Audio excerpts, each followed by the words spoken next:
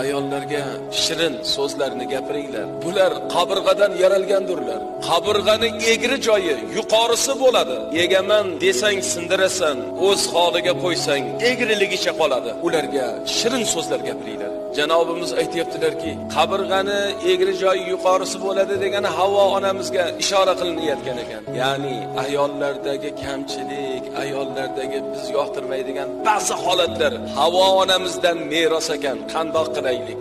Yomg'ir yog'sa ho'l qilsa badanimizni hayron bo'lmayapmizku. Olov kuydirsa hayron bo'lmayapmizku.